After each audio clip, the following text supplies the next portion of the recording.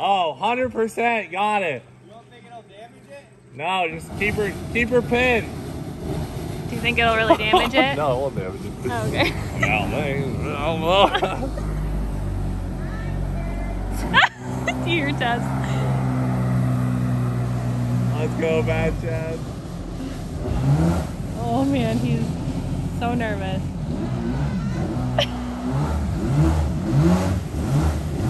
Wide open, dude.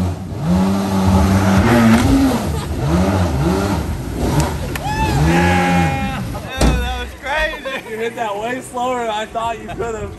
Dude. Nailed it. Oh, little squirt is ripping.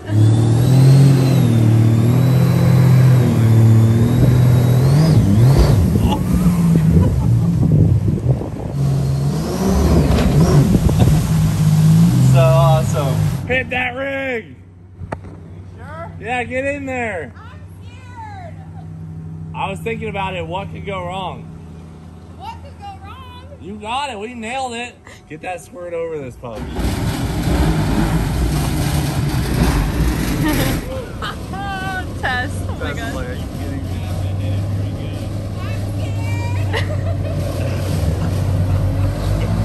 That's the first time demoing doing things like that. I know.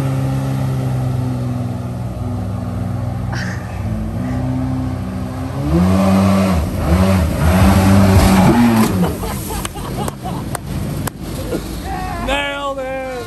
Hell yeah, brother. You're on the Please YouTube channel. Well, folks, this is one of the last times that you are going to see this little shop.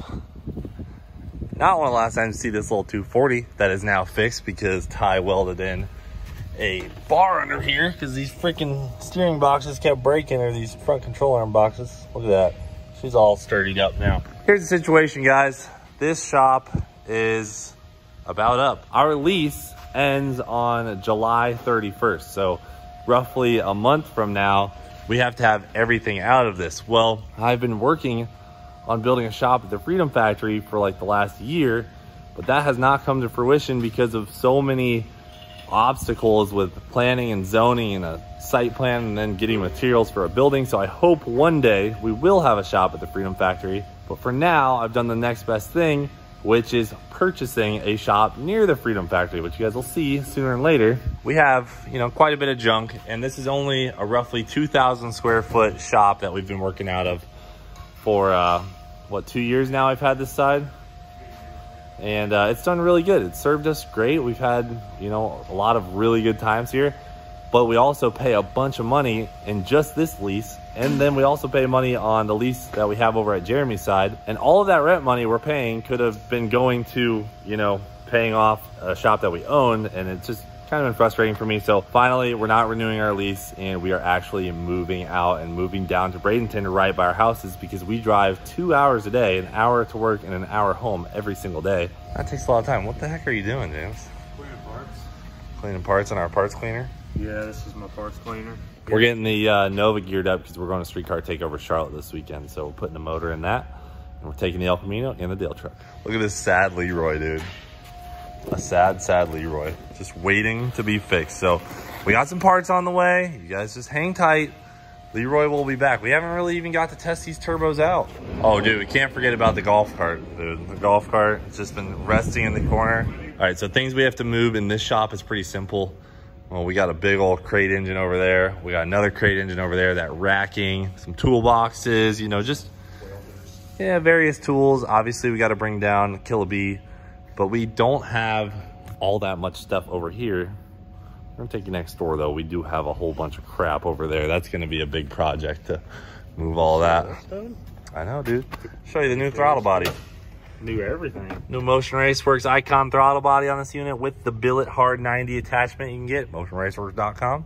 And we got obviously the Cleetus valve covers had to upgrade Rocky a little bit with the catch can, the whole nine. But let's not get too deep into that. Let's show them some of these, some of this junk we have to move. We've been collecting junk here for the last three and a half years. The most important tool we gotta move is the shyster. Yeah, we got the shyster we got to move. We got the subframe for the Mustang we got to sell. We got in here just a toast hood, bunch of tires, wheels, things like that. Some colored tires, some Nittos. wheelie bars for the golf cart, more wheels, tank, a jet engine.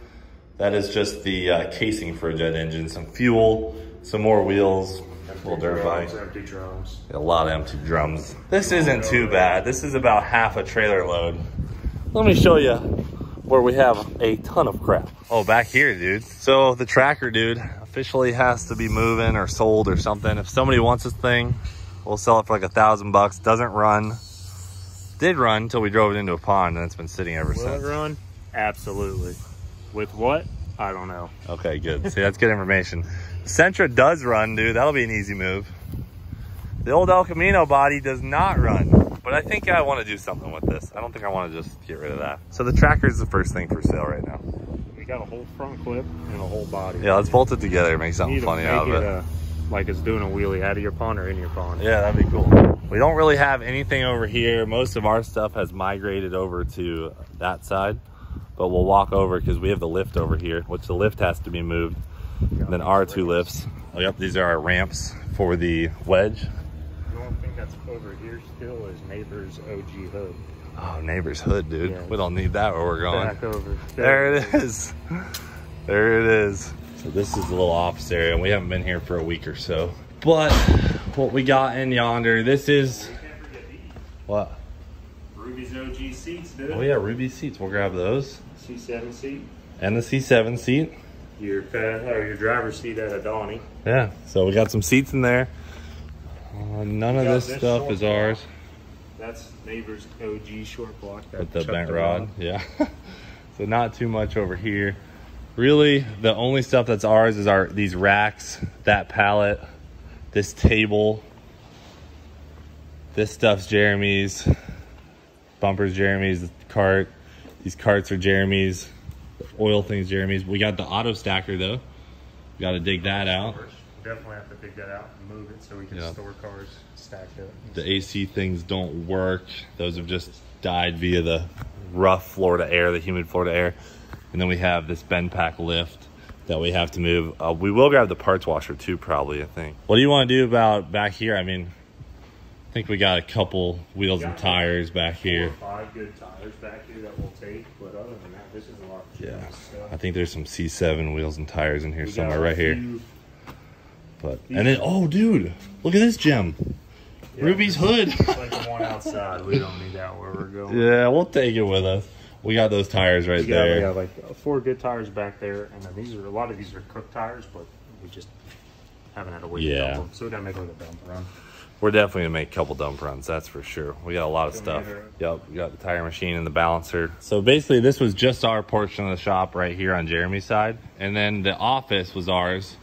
But up here, we have a bunch of junk. I'll just walk up the uh, faster pump stairs and show you what we got.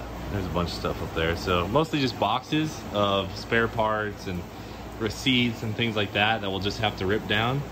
And we'll probably just forklift up, load it up, Best part forklift. about a move though is you get to condense. You get Yeah. to take everything and then you hold it in your hand and say, "Will I ever use this? Probably not. Yes or no?" And if it's no, Yeah.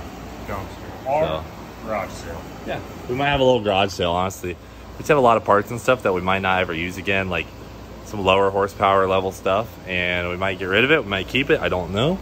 But that is going to be our biggest project. This office is pretty cleaned out. It's just got We like fan fan mail. mail we got to go through and stuff. But we can do a, a video on that, and then that'll be taken care Yeah. of. And Oh, then we we'll just for have sure do a video Some inventory. As far as I'm sure you guys are wondering, is Jeremy staying here? And yes, they are staying here. This was a five year lease, so it's been three and a half years for this side, and then my side was only a two year lease. But there is like, so obviously there's a year and a half left, so Jeremy will be staying here till the end of the lease. We'll just be continuing to pay him our lease amount. That's for this side at least. The other side, she's done. So other than that, I mean, someone will probably come through and lease that side. I have no idea what they'll do with it. I think the whole building's going up for lease. The whole building, yeah.